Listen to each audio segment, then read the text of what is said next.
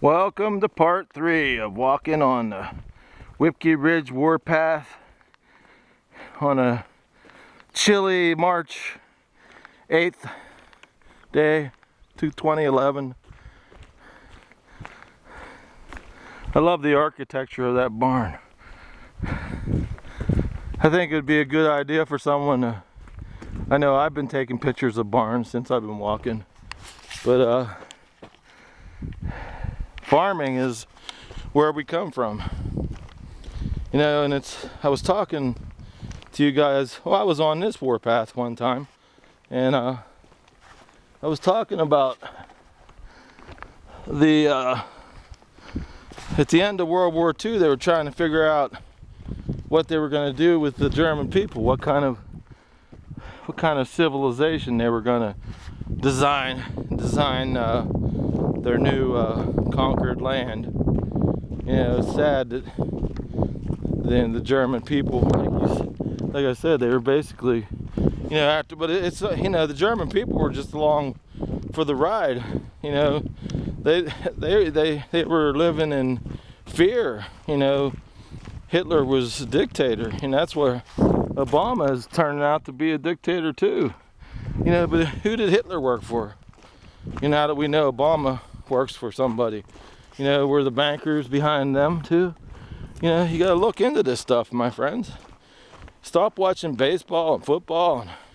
I mean, there was a time in America where we could, you know, we could enjoy ourselves and we were free. Like I was telling a friend today, and it's like I've always been a happy-go-lucky guy, you know, and if life always knocked me down, I always had one thing, one great thing. I had the pride of the pride of this great country, and I've always known that you know it's always good to know that no matter what, if you got knocked down on your feet and uh, you know didn't have a job, you know you could always just you know like like Ben Franklin, you know, is when he was he set out from Boston to Philadelphia uh, first he went to New York and then he went to Boston. I mean, first he went to New York and then he went to Philadelphia.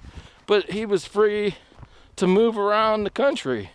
And I've always done that. And that's why I designed my life with I became a chef because I knew that I could go anywhere in the world as a chef.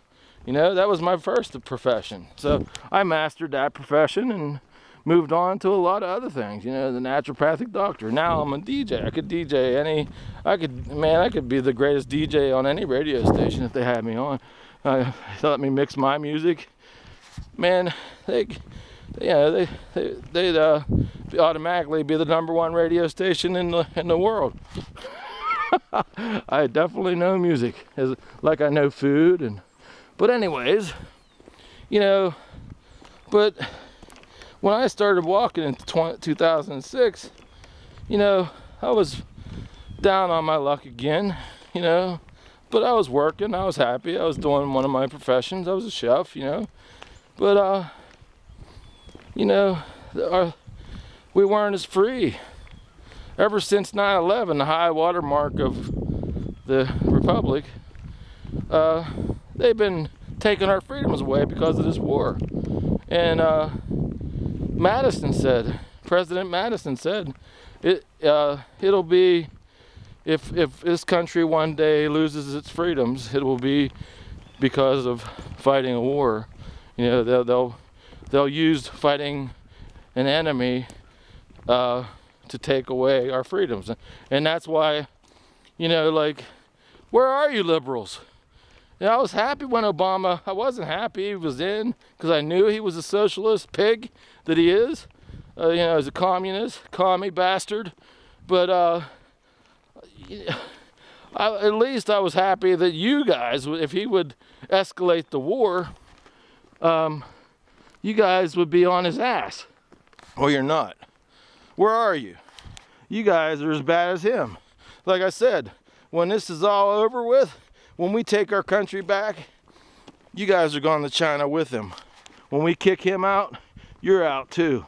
All you liberals that won't fight, I mean, he just had his uh, Gates said that they're they're gonna uh, they're they're escalating the war more now, and and they'll talk about it in two. They're pushing it back two more years. You know, my they're gonna keep pushing it back and pushing it back and pushing it back. Uh, you know, no more, no more. That's it. No mas, no mas. It's over. That's it. We got to bring our boys home. Boys and girls, these are our greatest patriots of killing them. They got, you know, depleted, depleted uranium bullets. You know, uh, like I said, I just talked to a Marine out on the highway. He didn't tell me why he had cancer, but I know why he got cancer. You know, the, the, even the bullets that our greatest patriots use now are, are, are killing them. You know, come on, man. Enough is enough.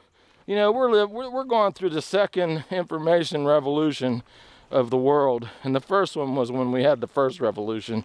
This is the second information of the world, information revolution. Uh, you know, it's like, like I said, we are in an information revolution. But what I mean by that kind of information revolution was, you know, uh, it advanced the world. You know, this kind of information media war that we're going through. Even Hillary Clinton was crying to Congress the other day because they're losing. And she said that we're losing here in America and they're trying to take the freedom of speech away because they don't want the, the people like Alex Jones, Dr. Savage, Glenn Beck, and all these guys. They don't want, they want you to dictate what kind of news we have because they are communist pigs and socialist bastards. And I, I don't care. I'm going to swear on this one. Because I'm mad.